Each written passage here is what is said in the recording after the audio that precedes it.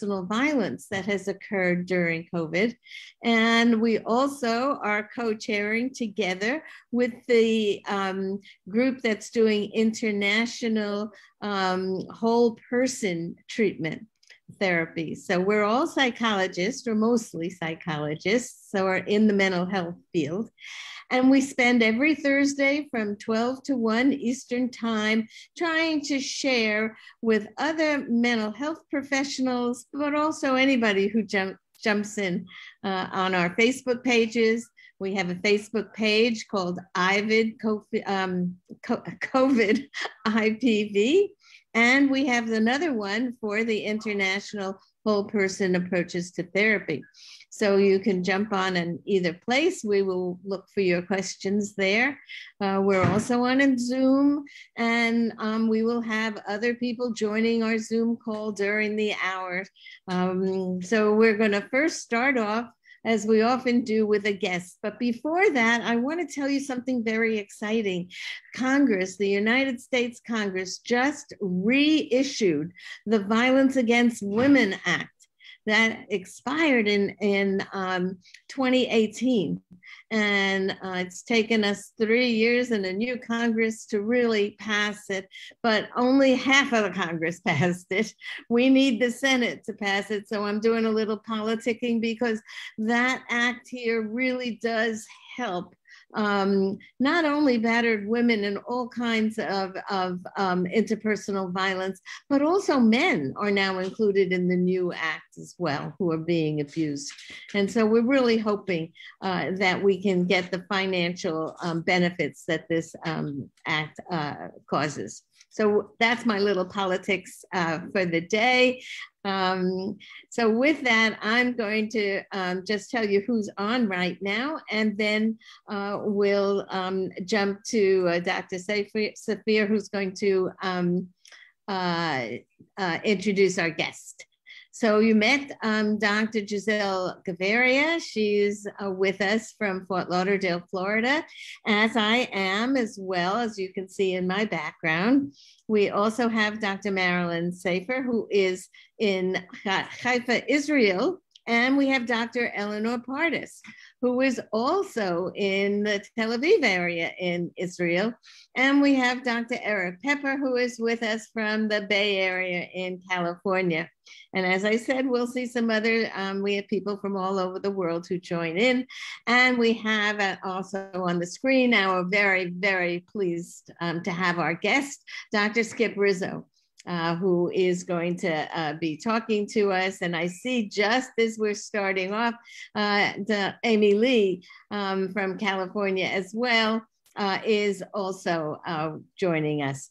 So with that, um, Dr. Safir, I'm going to turn it to you and have you introduce our guest. And uh, we have two guests. I see uh, Dr. Rizzo's got his puppy. You'll hear my puppy jump barking too. so I'm going to turn it over to you, Dr. Safir. Okay, it gives me great pleasure to be able to introduce Albert Skip Rizzo, who is one of the um, in the forefront of designing programs that have been very successful in helping combat veterans deal with post-traumatic stress disorder and the whole concept of using virtual reality as a means of exposing people in a controlled fashion to trauma, making it easier to treat them. Skip is the director of uh, medical virtual, virtual reality labs, uh, the Institute of Creative uh, technologies. He's also a research professor in the Department of Psychiatry and School of Gerontology at the University of South Carolina and really has been in, sorry? Southern California. South Carolina, sorry. that was a bad mistake. Um, so I'll turn this over to Skip. All righty. Well, thank you, Marilyn. Uh, it's great to see you. It's been a while, and I hope I get to uh, visit you sometime in Israel soon. But I also want to thank um, the hosts, uh, Lenore, Giselle, Eleanor, everybody that uh, has helped me uh, to have this opportunity to speak to everyone. I'm going to try to keep this to 30 minutes, so I'm not going to give a long preamble. I'm just going to jump right into popping up my slides and hopefully everything will work properly. You know how technology can be finicky sometimes. So um, my talk today will be on the use of clinical virtual reality and specifically in the area of PTSD from combat to COPS to COVID and beyond. Um, uh, as mentioned, this work, a lot of the work was done at the University of Southern California Institute for Creative Technologies, where my lab is located, uh, the MedVR lab. And we've been doing this work since the mid 90s and have done work in a, across the spectrum of areas where VR can be usefully applied. Um, and includes psych, cognitive, motor, and virtual human work. I'll just show a couple of little teaser videos to give you an idea of the, the breadth of the work and give you a little context for how VR is applied uh, across the spectrum of human functioning. Um, so in the psych area, this is, we'll see more of this later, but that's what one of the simulations that we use oh. for uh, prolonged exposure therapy with combat veterans in Iraq or an Afghan type context. For point of comparison, that's what it looked like in 2007. Uh, so you can see you how much the graphics have evolved over the years. But in this case, what we did was we took our exposure app and used the, the simulation content to develop tests of cognitive function, uh, tests of attention, memory, and multitasking, uh, executive function, and so forth. Uh, and within a head-mounted display, within a functionally relevant controlled environment. We don't just do military work. This was back from 1996, 97, uh, 3D projection system for uh, assessing and, and training mental rotation skills and other visual spatial abilities. Uh, a little bit later, we started doing uh, assessment with kids uh, with ADHD, but uh, really an attention process trainer in a virtual classroom or assessment tool in a virtual classroom. Um, basically, the child has to pay attention to stimuli on the board, continuous performance tasks, but meanwhile, distractions, like the kid in the back row just do a paper airplane, school bus. So we can test and maybe train, uh, although we haven't really done a lot of that. It's mostly assessment. Um, we can assess attention in a controlled stimulus environment that's relevant to the real world with uh, systematically controlled distraction really illustrates the power of what we can do in, in VR simulations. And this is an old one. This is 2003. We have a new version. It's now um, going to be on the market shortly. Um, in the area of motor rehabilitation, um, using a Microsoft Kinect camera, a depth sensing camera, this user is not wearing any instrumentation or markers. The camera tracks her movement, imparts it onto this little avatar, and the whole goal here is to make very boring, repetitive, and frustrating physical and occupational therapy activities more fun and engaging by immersing them within a game based environment and also measuring uh, performance within that environment and providing optimal feedback to users. We took that same technology um, and the Cerebral Palsy Foundation or National Cerebral Palsy Foundation came to us and just had a simple request make it so that kids with severe motor impairments can play video games. Um, and so this little girl, first time she's ever played a video game, and basically we use this technology. If you notice on the right, she's picking her arm up. That is, uh, is about the only movement that she had really good volitional control. So that became the for making this little shark jump out of the out of the water and so forth. So using the body as an interface to um, adjust it so anybody that has some level of motor control in some area can use that motor control to interact with computers or with game-like content. Um, and this is some of our, our newer work with the head-mounted displays and a sensor on the front is tracking hand movement uh, for so you get a first-person perspective for eye-hand coordination and eye-hand uh, rehab. Um, Okay, virtual humans. I'm going to show one that I think is particularly relevant for this audience, and it's a virtual patient scenario. This is one we did for USC School of Social Work for their, they have sort of a certificate in military social work program, and it's a virtual patient. Hold on. There we go. Um, virtual patient uh, for practicing clinical interviewing. So here, um, here's an example of that. Good afternoon, Sergeant Castilla. What brings you in today? Well, my wife told me she thought I should talk to someone. She's been pretty concerned about me since a soldier suicided on base last week. Did you happen to know the soldier? Yes. He wasn't a friend, but I met the Marine once or twice. He seemed normal at the time. I guess I'm afraid I might end up like him. Do you have any plans to hurt yourself? No. It certainly caught my mind, especially lately. I just need it all to stop. Sometimes I can't handle it. So that work has that was from 2013, I believe. Uh, that work's evolved quite a quite a bit since then. Um, I like to show some of the the trajectory of the older stuff, so then when you see the newer stuff, you see, you know, where we are now. Uh, in fact, the technology has in fact caught up with the vision from the early days when we were struggling along with complex and expensive equipment. Um, but anyway, that uh, I always like to say with the virtual patient project, it's a way to give clinicians a chance, novice clinicians, a chance to screw up a bunch with a virtual patient before they get their hands on a live one. And I think we can all agree that kind of experiential training might be useful in your early days of clinical training. Um, and we also have done recent work with Greg Reger up at the Puget Sound VA in a randomized controlled trial showing that people that practice motivational interviewing uh, with virtual patients after they go through the standardized training uh, perform much better uh, in a real world assessed context uh, than people that just go through the standardized training and have an equivalent amount of review practice um, with paper and pencil stuff. Okay, um, finally, uh, another example of virtual human relevant to dealing with trauma, and this is more about breaking down barriers to care.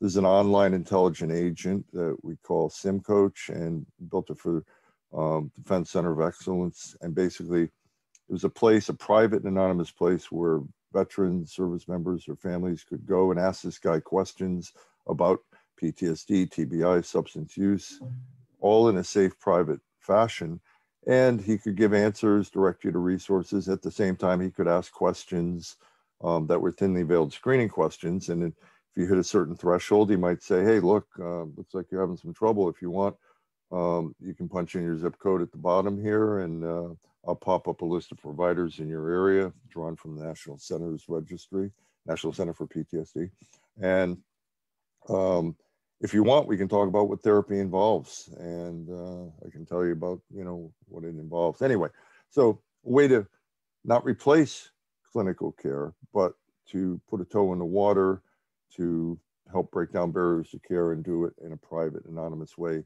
for folks that are hesitant to initially have that discussion with a real person. So let me just let him introduce himself real quick.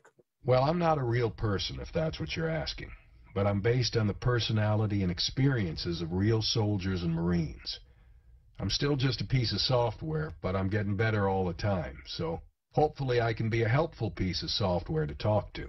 Okay, so with that intro, what is VR? Uh, from a technocentric uh, perspective, it's a combination of enabling technologies, computers, head mounted displays, or other display technologies, interface devices, body tracking, all with the goal of putting people, um, allowing them to interact in simulated contexts um, for a specific purpose. I prefer the more human-centric definition, which is really just basic human-computer interaction, you know, ways for people to interact with computers or complex data in a more natural and intuitive fashion. And if how we've been interacting with computers over the last 30 years is any indicator, maybe it's time, you know, we, we created things where you could do things beyond what you can do of hunting and pecking on a keyboard or using a mouse. Now, in mental health and rehab, the best metaphor for why we use VR is simulation technology. So, just like an aircraft simulator serves to test and train piloting ability, we can test, train, teach, and treat psych, cognitive, motor functioning, spectrum of areas, clinical conditions, and wellness, all within a controlled stimulus environment, sort of like the ultimate Skinner box. Um, over the years, since 1994, the field has evolved dramatically, uh, going from specific phobias to uh, this short list of clinical conditions where the science uh, has documented the added value of applying VR when applied judiciously, thoughtfully, theoretically informed. Um, and, you know, I mean, the good news, just as a, a takeaway bullet point, is that Um, when we got started in the early days, the technology was crude, primitive, as you see here. Um, but it's the technology has caught up with the vision in terms of fidelity and cost. And we have probably the largest scientific literature for any VR use case in mental health and rehab. So we've got a good roadmap. Science never ceases. We're always going to continue to evolve, but we got pretty promising uh, findings in a number of areas, PTSD included. So with that, let's talk just a little bit about exposure therapy. Now, uh, this was the area we chose, prolonged exposure, because when we build these things, we oftentimes um, don't stray too far from what we know is evidence-based in the real world, but rather look towards how can we enhance uh, the delivery of that treatment um, in a way that might engage people more or draw more people into therapy. Certainly, VR is not the magic bullet; it's simply a tool. But we're we start from a theoretical basis and then work from there. And everything I'm presenting here, it's stimulus content. You know, people that are interested in EMDR or in other types of therapies could probably implement um, some of our content in ways that might be helpful. Uh, so, and we're always open to that, by the way. So, with that said, going back in, in the old days with anxiety disorders, if you had claustrophobia in 97, happened to be in Spain at Christine Botella's lab, she'd put you in this little room, close the door, and then gradually move the wall in on you. And there's certainly more modern versions, but I like to show some of the old stuff first. And fear of heights was where the, the real science got its, its traction in this area a lot of work with Barbara Rothbaum's group and so on. But this is what it looked like back in 1994. Um, you know, nobody would ever mistake that for the real thing. And that was one of the big critiques back then. But the cool thing was that even though it wasn't an exact replica of the real world, it still had an emotionally evocative or activating effect so that you could do um, exposure therapy with anxiety disorders and get good clinical outcomes. And, and that's the good news with all of this, in spite of the impoverished nature sometimes of 3D graphic content or its failure to exactly replicate reality. Um, we can fool the brain. You know, your brain, as you'll see in the next slide, um, knows that this is a simulation, but the perceptual array presented when you're immersed in these environments to the limbic system activates it like it's a real thing. So um, anyway, that's uh, that's something that flies across all areas of clinical VR. But here are some of the different applications, and you'll see the fear of heights application in contrast to what you just saw. I particularly like this one because you know it's you know, pitting your fear of heights against your love of kitty cats, and you have to go out there and rescue the cat. But you can see this guy on the plank is acting as if it's the real thing. Anyway, um, the research in this area has been uh, quite positive. In 2008, our group and another group both published meta-analyses coming to the same conclusion. VR was, in most cases, as good, if not better, uh, than uh, traditional imagination-only exposure therapy. I don't want to make too bold a claim on that, but you know, at, at, at the at the very bare minimum level non-inferiority here. Um, and that meta-analysis was evolved uh, with another group in 2012, similar findings. 2015, uh, similar findings with the, um, um, you know, with the comparisons, but also showing uh, good generalization to the real world. People's behavior changes in the real world based on what they they do in the virtual world in this uh, therapeutic context. And more recently, Journal of Anxiety Disorders had a special issue uh, that Mark Powers and Barbara Rothbaum edited. Um, and one of the papers in there uh, was, uh, you know, a review, another meta-analysis, and they came to the conclusion that, you know, this is an effective and equal medium for exposure therapy. So going from anxiety disorders to PTSD, we're not the first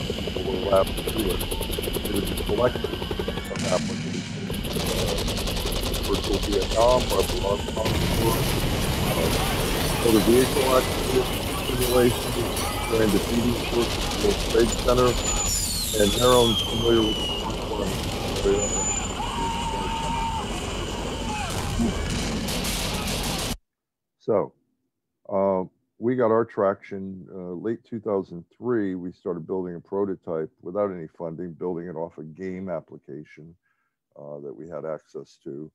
Um, but then when this paper came out, uh, you know, this was like a call to arms, if you will, um, and this really got people interested. So, Office of Naval Research approached us, and we got funded in 2005 to begin building this stuff.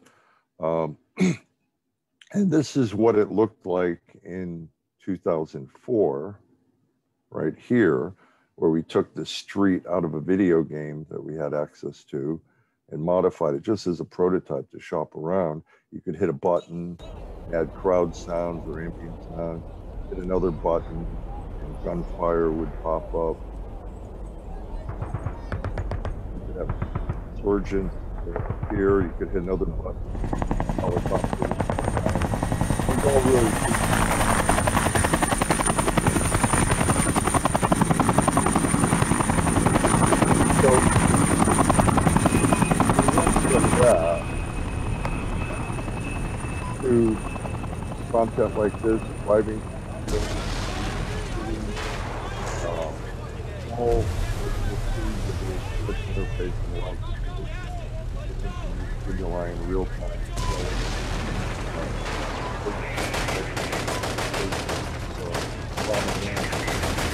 Anyway, uh, we tested this with users before actually developing a treatment program. This is Greg Reger uh, at the from the Puget Sound VA when he was on active duty, taking a version, early version of the system to Iraq, and actually testing with non-PTSD folks uh, just to get their feedback. What did we get right? What did we get wrong? This is part of the design process. Always testing in the early stages with your targeted uh, user group, and that information was vital to evolving our applications over time.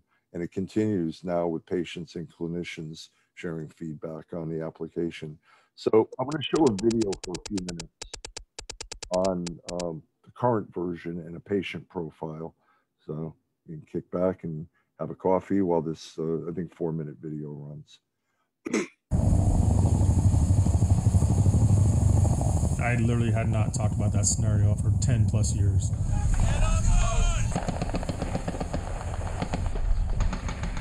Never thought about it. I avoided thinking about it.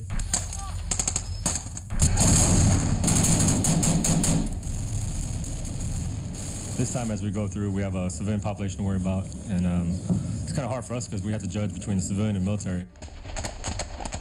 Some of the things that I saw and some things I did just stuck with me. Retired U.S. Marine Chris Merkle is about to return to war.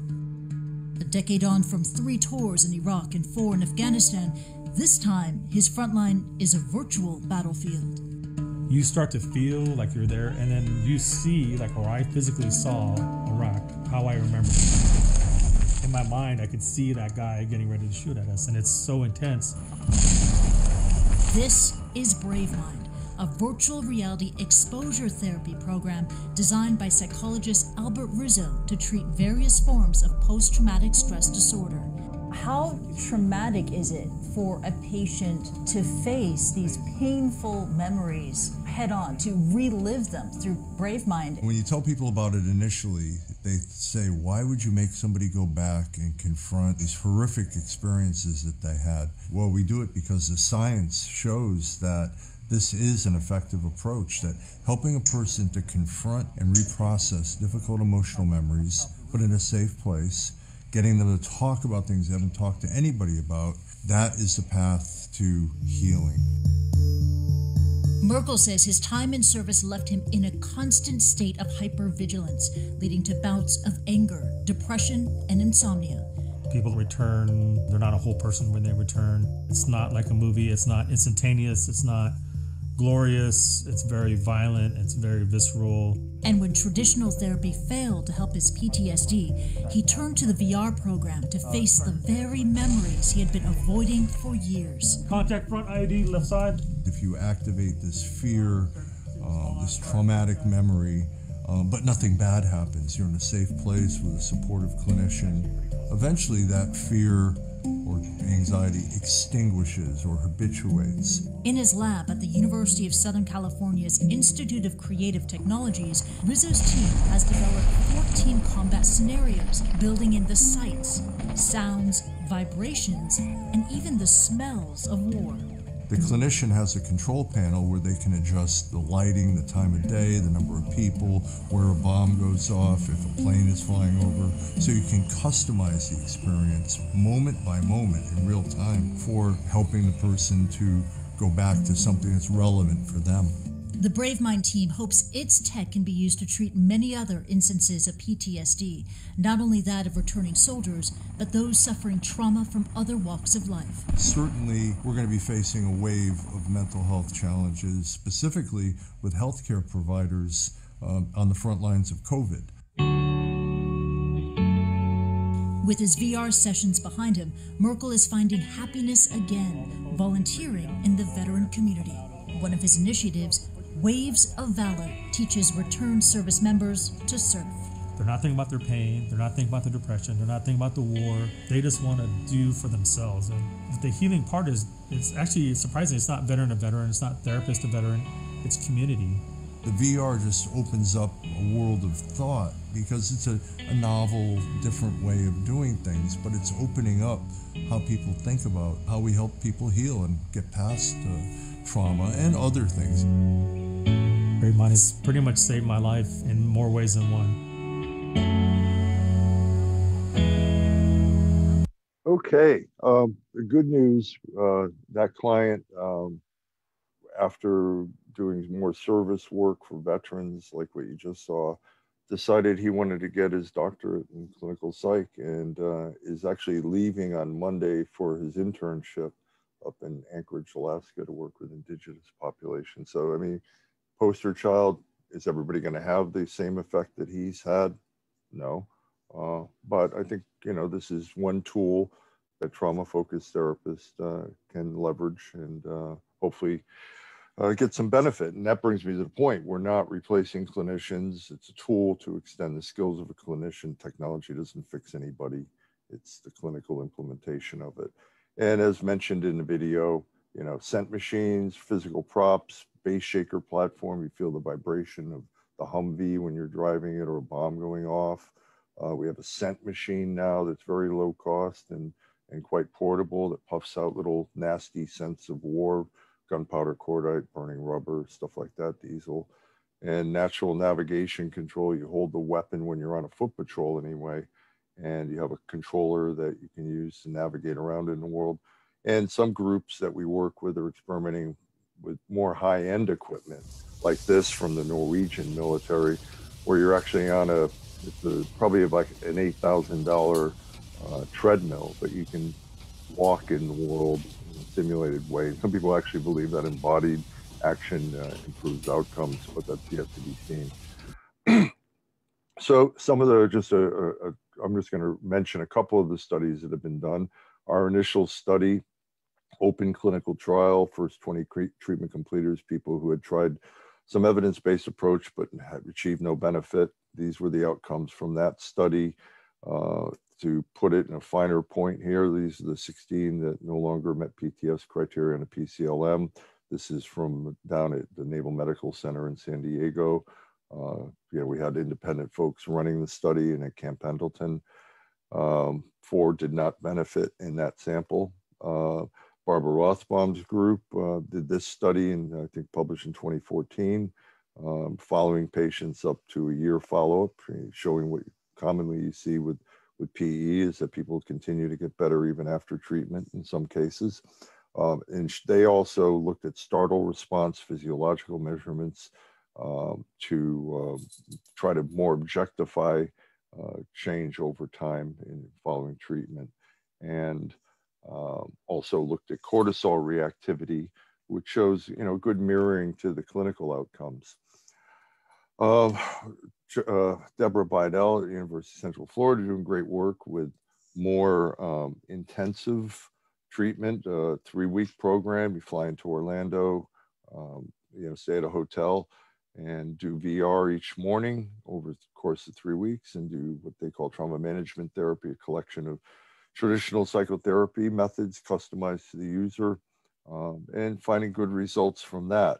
Uh, a couple of randomized controlled trials have been done in these cases with the old version showing equivalence to prolonged exposure. And in a study that is under review now, and I can't talk too much about it, this is the pre uh, trial description of the protocol uh, with JoAnn Difede and Barbara Rothbaum, Mike Roy, um, showing that um, you know both VR and prolonged exposure did quite well. Uh, we didn't really see with across the whole sample differences, but we, in our pre-planned comparisons, we predicted that people with comorbid depression would, would get a better effect with VR, and that was in fact what we found. Uh, other studies, Greg Reger's group, looking at reductions in suicidal ideation following both VR and prolonged exposure. Um, and then our work took a turn in 2016 to develop a military sexual trauma app. And basically, um, we thought we'd have an easy go of it, just building out barracks and stuff in our already existing worlds. But after interviewing a lot of folks that went through this, we found out most sexual trauma the militaries happen in civilian areas stateside. Um, so we had to build out a bunch of civilian content and a perpetrator that could pop up or turn up that was customizable. Certainly, we're not, you know, recreating sexual assault or trauma experience, uh, just the context in which this happens in order to conduct uh, prolonged exposure. And because of the nature of the population, we were limited to on this proposal on this grant to running a safety feasibility trial. So 11 folks went through it. Good news, no critical incidents, and more good news. Um, you know, we with even with that small sample, we got statistically significant, clinically meaningful reductions in PTS. Um, but much more work is needed to be done, and translation of that to civilian populations. Uh, you know, we've done uh, diagnostic approaches looking at psychophysiological responding with fixed content from Bravemind that's uh, delivered in a variety of ways um, across these six studies. Uh, Mike Roy did a study pre and post fMRI uh, uh, before and after uh, course of treatment with the system, showing changes in brain activation in the core areas you would expect. But I think this was 18 subjects. So again, you know, we still need a lot more work in that. I'm going to skip over this because it'll take too much time. It's a pre-deployment resilience training system that we developed um, to help folks develop coping skills prior to a deployment, but it takes too long to go through it. Um, but the punchline here is that I think you know we're gathering evidence that shows that at the bare minimum, uh, non-inferiority to the traditional method um, and sometimes better outcomes with certain populations. But you know, the other factor is breaking down barriers to care. And in our last randomized controlled trial at, um, uh, at informed consent, after the the uh, recruit was described, they were, you know, prolonged exposure was described to him, VR exposure was described to him, but they were told you're going to be randomized to a condition. But if you had your druthers, if you could pick, what would you pick? Um, and quite interestingly, 77% across the whole sample uh, would have picked VR. So this may be a tool to engage digital generation service members or folks that are drawn to this kind of technology. Uh, again, it's it's just another tool. It's, it's not a replacement for what we already know works well. Um, it's another option, and, and, we know from the literature that when patients are given an option and given some empowered to make some decisions about their treatment when presented with a menu of evidence-based approaches, they typically do better. So, civilian translation, plenty of trauma in the world, as we all know. And so our efforts now are, are take, trying to take everything we've learned in this area, translate it to the civilian sector and for other groups where the occupational stress is overwhelming, not unlike that of a combat veteran. So um, worked with um, with Google on a project to develop applications initially addressing de-escalation. Uh, like for example, the guy on the bottom right is uh, modeled to be a mentally ill person harassing people at a bus stop and teaching the proper skills and tactics while also, you know, building a context where you know you're putting some pressure on uh, the trainee uh, in terms of the annoyance factor and everything. Um, and our work with the LAPD with the RAND Corporation, we built out one for a, home visit, a domestic dispute. Um, that we, we were going to test it last year, but COVID got in the way. So uh, this fall, this study will be run. And I look at it as a toe in the water with policing. Uh, police are not much different than combat veterans in terms of their hesitancy to admit they're having problems. Um, but we know it, problems do exist. And I, I suspect that, uh, even though I have data on this, that a lot of the problems we see in policing might be the result of sort of a th- sub-threshold PTS uh, condition where you might have the emotional numbing and maybe hypervigilance, sort of a toxic combination for pulling the trigger, um, or you know maybe some racial bias mixed in but with getting that into the police department, you got to start somewhere. And so getting it into the academy before people are on the beat for 20 years is this, the strategy we're trying to take with this and trying to couch it as a training experience and moving forward from there. Also, you know, docs, uh, you know, uh, this is leading into the COVID work, but if we look pre COVID, doctors and nurses are you know at the high end of the suicide scale. The study with nurses um, showed male and female nurses way over the civilian non-nurse population in terms of suicide risk. Um, physicians, same thing, one and a half to almost two times the rate. Um, add COVID into the mix, and you're seeing from the various studies that have come out uh, increases in the frontline healthcare professional uh, provider uh, in all these different areas. Um, a study out of China very early on was quite shocking in that uh, survivors of COVID, when they were released from the hospital, filled out the PCL5C. And even though this doesn't mean they have PTSD, 96% of them were over the 50 point threshold. Uh, certainly, many have resolved, but um, you know, uh, early warning sign here uh, as of October of last year, the military suicide rate across all branches had increased 20% in 2020, 30% in the Army. Um, opioid drug use uh, in samples of blood draws from hospital admissions for COVID, you know, 35% increase in non-prescribed fentanyl, 44% heroin, uh, you know, so you know, is this going to resolve over time? Hopefully, for most, um, but we need to be uh, ever prepared to deal with these challenges. Uh, this is a case series where um, it's exposure therapy using VR to help people overcome their fear of going out after having a COVID infection and approaching things. Very small study, but not anything we're going to brag about at this point, even though there were positive findings.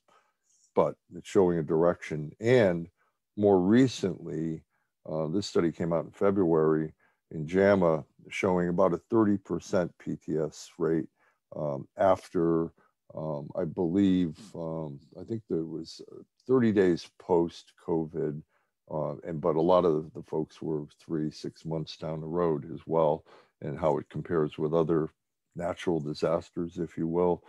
Um, so, plenty of work on our hands. So, our approach is take everything we learned uh, from the combat related work and some of the applications and try to think about a way to translate it um, for the civilian sector.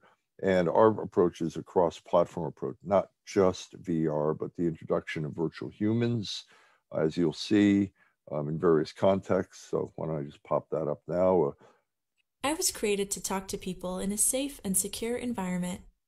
I'm not a therapist, but I'm here to learn about people and would love to learn about you. I'll ask a few questions to get us started. And please feel free to tell me anything. Your answers are totally confidential. Are you okay with this? So basically, that is an application that we we had built a, a prototype for the Army, but it's for healthcare professionals to have a safe, private, anonymous place to engage with this agent and uh, take questionnaires like the you know the uh, ProQOL and so on and get feedback from the agent on where they stand and discussion of the various self-care programs. Uh, a lot of times healthcare professionals don't want to talk to a real person about uh, what they're going through, and maybe this offers a way uh, to do that. Uh, putting that same kind of technology on a mobile device, uh, we had done a prototype for the Army um, taking a wellness uh, manual that they had created, Performance Triad, uh, and trying to put it into a mobile app. They'd already done a mobile app, but essentially it was the manual mobilized. And the, the, paper manual was much better than trying to do it on a cell phone, quite honestly. Um, and so, how can you make these things stick? Well, put a virtual agent in there because we know that you know the median number of uses of mental health mobile apps after the first download and, and trial is one time so these things aren't sticking so can we do things like this welcome back let's get this daily check-in started. How are you feeling right now? Great. Thanks. Next let's record your daily reflection. I'd really like to hear about your day. Can you tell me three things that went well for you today and what you think might have caused these good things to happen? Remember, research suggests that reflecting on the good things that happen in our lives can affect us positively. So this is being a service member can be stressful. When you feel stressed, your breathing becomes fast and shallow, and your muscles tense up. This increases your heart rate, blood pressure, and muscle tension. And now your body isn't getting the amount or the type of fuel it needs for optimal responsiveness and health. That's why relaxation and breathing exercises are a game changer. They're simple actions that go a long way to reduce blood pressure and mental tension.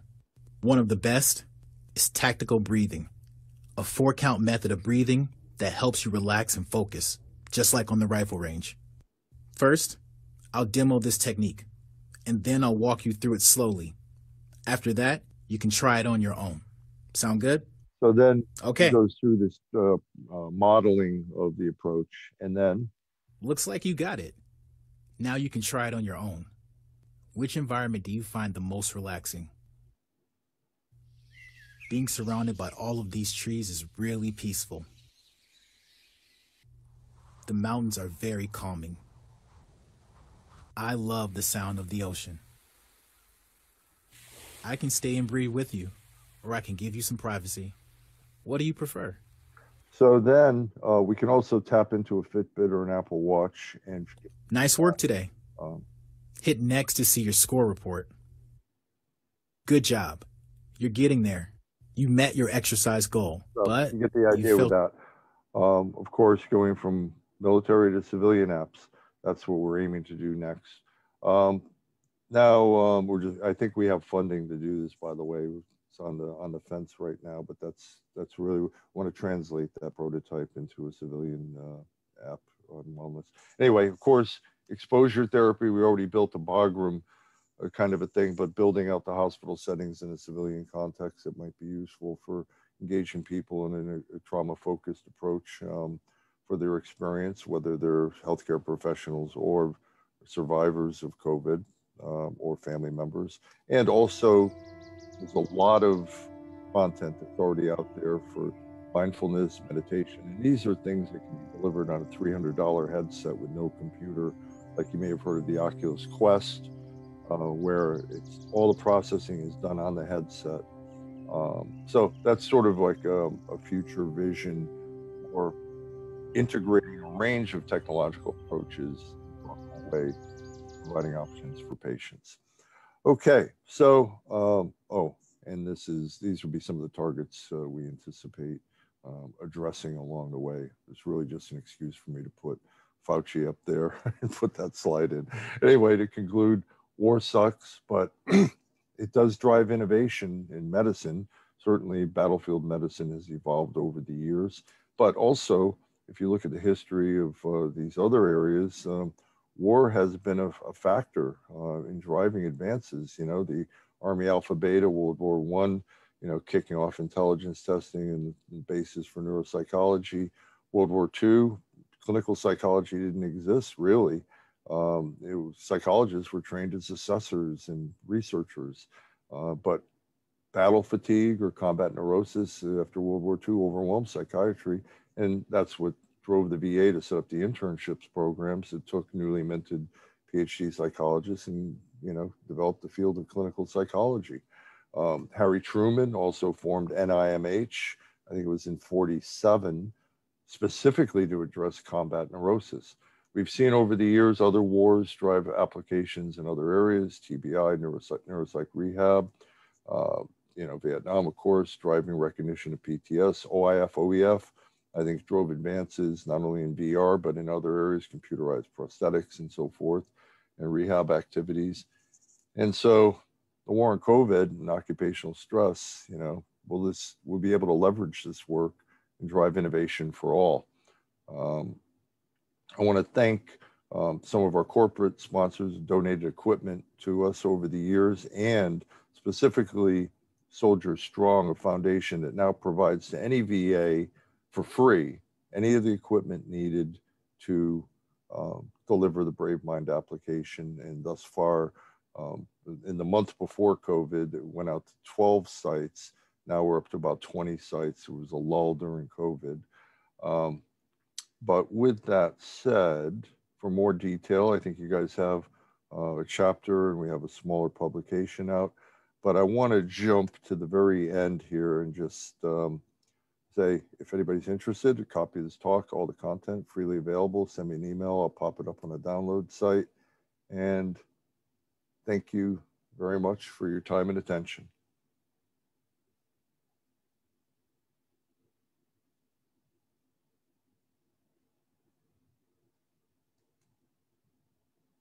All righty. Absolutely fascinating. fascinating uh, work. Um, I, uh, I, I don't know what to say. We tried very hard when I was um, director of the forensic program at Nova. Uh, to we um, had people uh, teaching us about Oculus, and we also de- designed an actual virtual reality uh, platform uh, to teach our forensic psychologists how to testify in court and how to do evaluations in our mental health court. And we even had the mental health court judge who uh, um, she allowed us to make an avatar of her as long as we made her blonde. and uh, it, it um, uh, Dr. Ackel, who sometimes gets on, um, uh, was very much in charge of that program, and we really are hoping that she's going to um, be hired to replace. Uh, well, nobody will replace, but to to to take Dr. Shapiro's um, position, um, because I think this is the future um, in training programs. I think this is how we're going to train our students when, especially when we can't get live people, because it is not necessarily ethical to work with live people, as you said uh, skip we don't want to um, practice on on the real people practice and then make it perfect when we deal with our, our patients. But thank you so much for such a, a fabulous fabulous introduction to what's going on. Uh, thank you for the kind words. How about jumping on? Other people who want to jump in? Uh, we can be unmuted because we only have a few people. I see Dr. Um, uh, uh, Patricia Vicencio Carrillo joined us from Spain, from Madrid, Spain. So we. Um, Can I ask a question? Sure. Sure, sure, Annie. Yeah, so yeah, this is amazing. Thank you so much for really get us present to the impact of the war. And then, you know, the challenges this mental health lasted for a long, long time. And I have a curious question, like, um, because I have a company kind of more doing um, the telehealth platform. And we look into VR, and one of the big concerns because it's targeting chronic patients and elders is the safety. And uh, so I'm always curious, like how other researchers structure their safety protocols.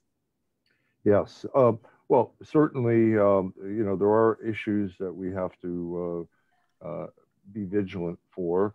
Uh, probably the first thing that pops up is that for some people, putting on a VR headset, um, they get motion sick and you know that's a deal breaker. Um, and, and mm-hmm. sometimes folks do it, and they feel a little shaky in the beginning, and then they do it again, and it's a little bit less so. And so, the, you know, in some sense, there's an adaptation that may occur, but that's just just the reality. It's gotten much better over the years now that that the quality of the technology has gotten better. You don't have a lot of lag when somebody turns their head and it takes a while for the image to update. That's a you know, that's a recipe for cyber sickness. Uh, so you've got that. The, the second area is you know having well-trained professionals that understand how to use this technology ethically and professionally.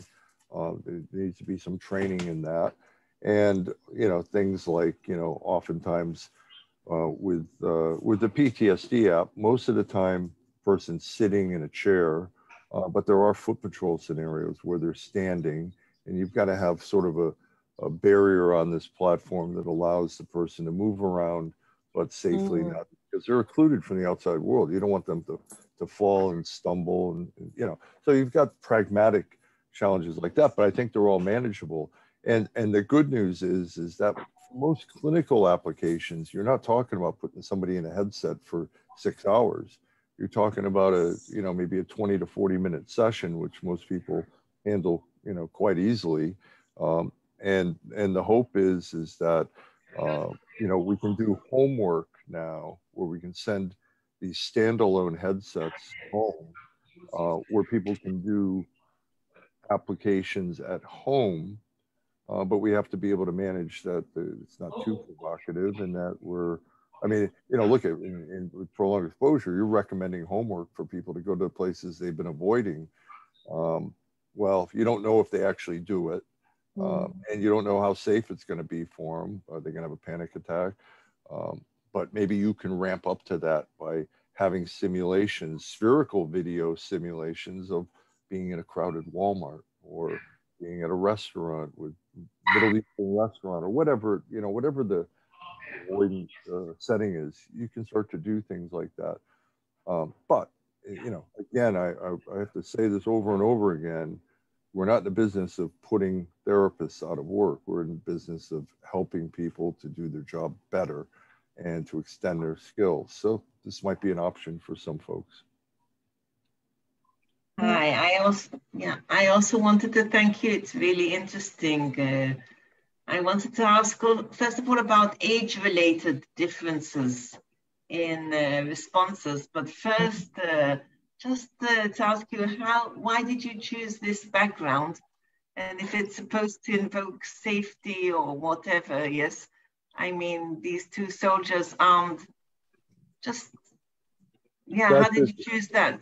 That's that was just simply a screenshot from one of the um, uh, from I think I believe that's the uh, Iraq marketplace scenario. We have 14 different worlds because for the combat related stuff. It could be an Afghan world, an Iraq world, out in the desert, in the mountains, in a small city. Um, and so this is just, you know, this is actually um, a section called safe zone. So uh, if we want to uh, put the patient after they go through their trauma narrative and they want to process it, but they want to stay in the environment, we can pop them, teleport them to this area where they're around soldiers um, and they can continue their discussion in the context of the simulation. So just, I mean, we, we can, in, in our simulations, as you saw, the clinician interface allows the clinician to introduce everything. So in this context, we can eliminate all the characters and have it be an empty city at, at, at dawn uh, with just the sound of the wind.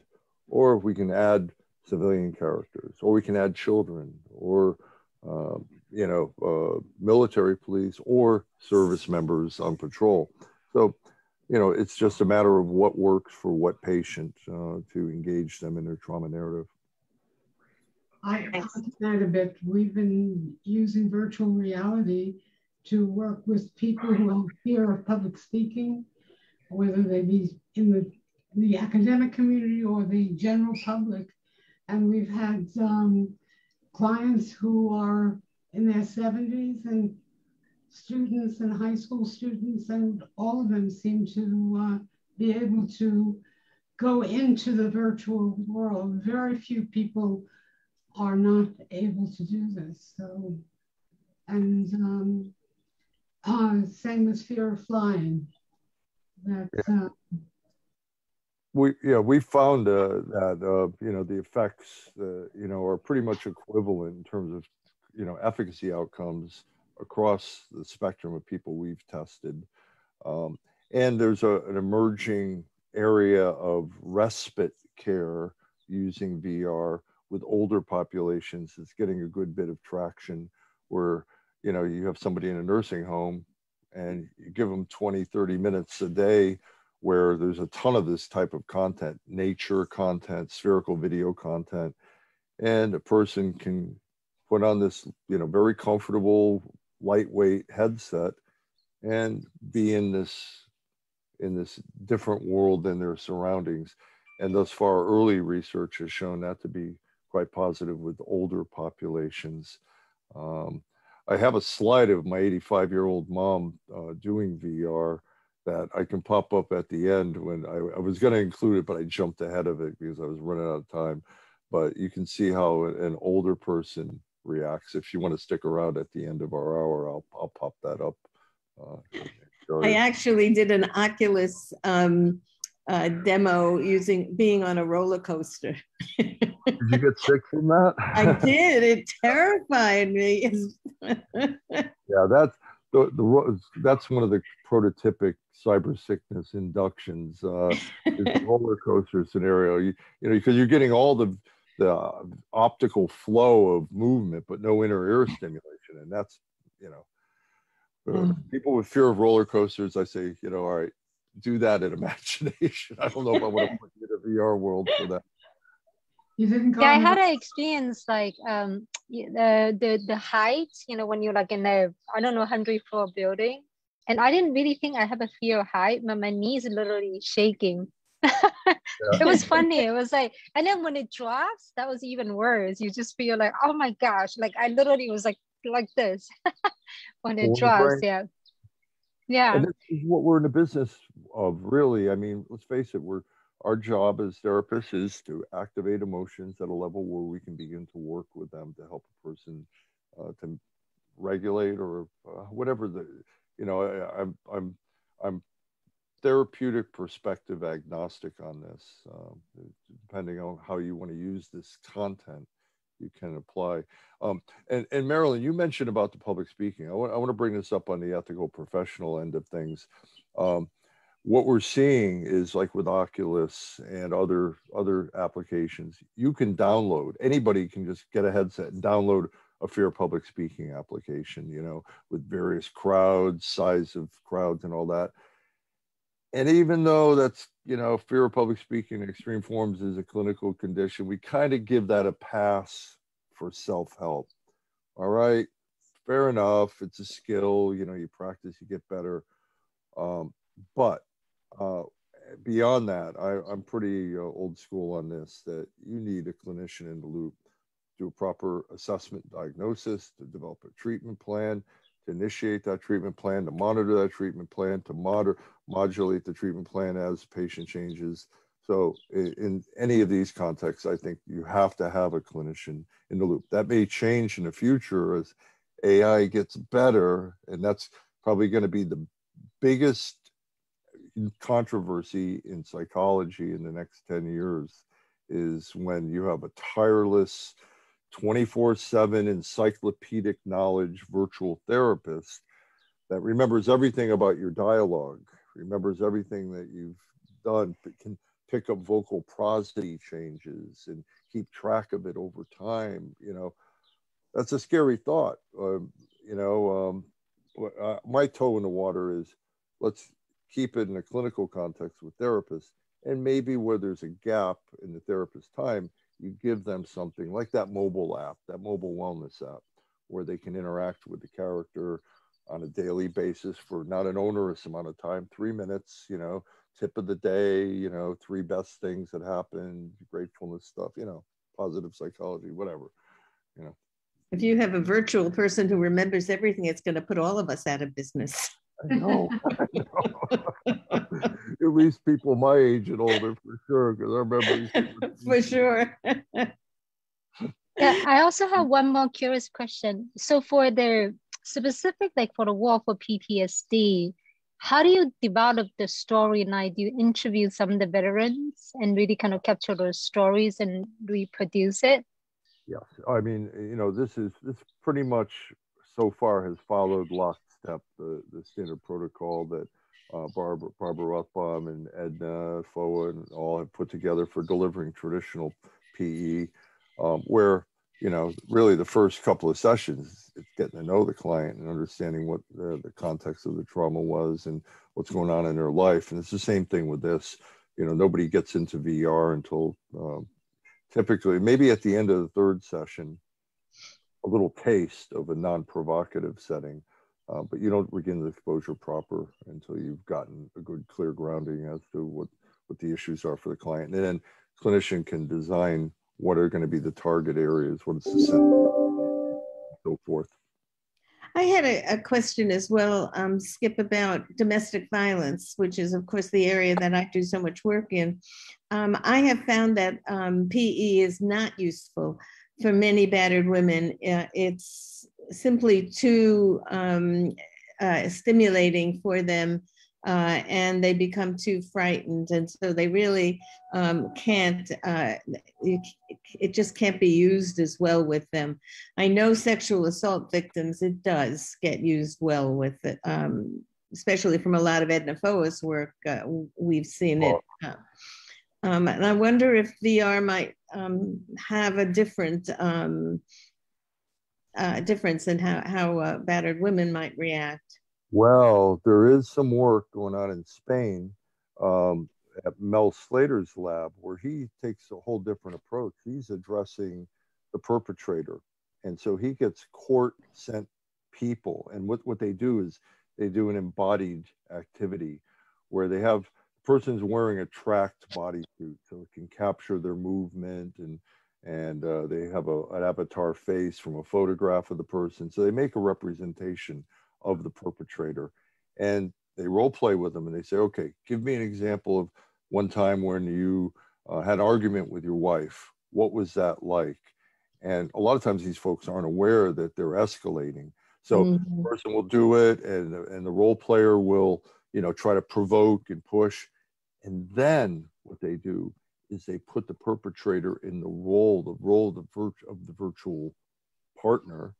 Wow. And have the character come out and and give them some external awareness of how they're coming off and what they're doing and and give that you know there if you look up mel slater in fact he's got a great um, uh, thing on a great video on youtube showing this uh, you know punch in mel slater youtube mm-hmm. um, and intimate partner violence or what you know punching you have to I send me send me an email. I'll send you the link because okay. I have it.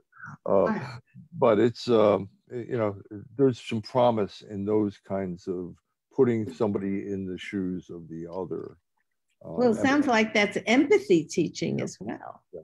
And Jeremy Bailenson's done a bunch of this with on becoming homeless, on growing up black in America, where you're living it out in a VR simulation, and hopefully, in, in fact, with the homeless one, he did a really cool study where, you know, if, if you put somebody through these things and you give them a checklist, you know, how empathetic are you now as opposed to before, everybody's going to say, oh, I'm, you know, I'm a mm. champ at empathy. But what he ah. did was in these, after the experiment, he gave them a packet of questionnaires and they made it look like it was by accident. There was a petition that was ongoing in San Francisco uh, for providing more services for the homeless, but it, made, it was made to look like it was accidentally mixed in.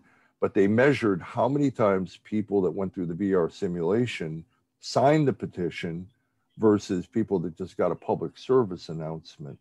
Um, and how many, and they found significantly more from the VR experience mm-hmm. signed the petition. In other studies where they're, they're doing this pro social kind of activity, they find when they have a Confederate walk by the person as they're leaving the lab and drop books on the floor, that the user going through the VR experience is going to be more likely to stop and help that person pick up the book. So people are starting to move towards getting more behavioral representations of what we might call the construct of empathy. I just wanted to make a comment about the PE. Uh, when you're working with PE, very often people become flooding themselves saying, lose control of the situation that they're imagining. And then it's difficult for them to stop. Whereas you're doing the exposure uh, with VR, you have much greater control. You can start at a different level and you don't find the flooding occurring that you do with P. That's why I think that the VR has a lot more to offer um, in the long run. I think more control and shorter uh, treatment plans because of that. I'm going to have to go in about. Yes, we. Oh, I, I I, want to thank you uh, so much, Skip. Sorry for not being at the beginning. It's Mhm. amazing work you all are, are doing. Thank you. I think the organizers uh, You're reported the future and the present and the future. And we, I think it's, uh, we can develop uh, resources for patients like any mindful um, um, control, emotional control resources through these devices. And thank you so much. I, I hope you will come back again. All righty. Absolutely. I, I, I anybody want to say last words? I know we could go on and on and on. Um, I think this is the the future of of uh, what we're going to be doing, and, and um, I think it's so exciting, and it's exciting to see. I've known uh, Dr. Rizzo for uh, many years through the American Psychological Association, and I, I'm as, just amazed um, at how far technology has gone in a short period, relatively short period of time. So uh, I'm going to take some of this back as my role of, of chair of the task force um, on the working group on uh, professional guidelines for professional psychologists. I, I don't get the titles straight, um, but we've been talking about the use of mobile apps, the use of technology. How do you know that it's really working? And I think that Dr. Rizzo has explained to us is that they're already taking what is evidence based work in our field and applying it in a new way. And uh, that is so exciting. And thank you, um, Marilyn, for contacting uh, Dr. Rizzo. And thank you, Dr. Rizzo, for bearing with us in terms of trying to get the right dates and the right times. And, and uh, we No wish you well, and, and we will definitely be in contact. All righty. Well, So say goodbye. We'll see you again, not next Thursday, but I think it's the first Thursday in July.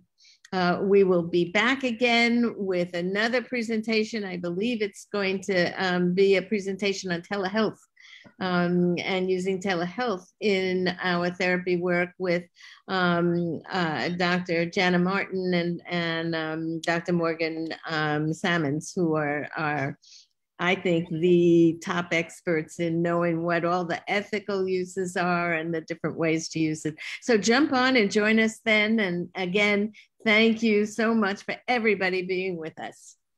Bye-bye. Bye. Bye.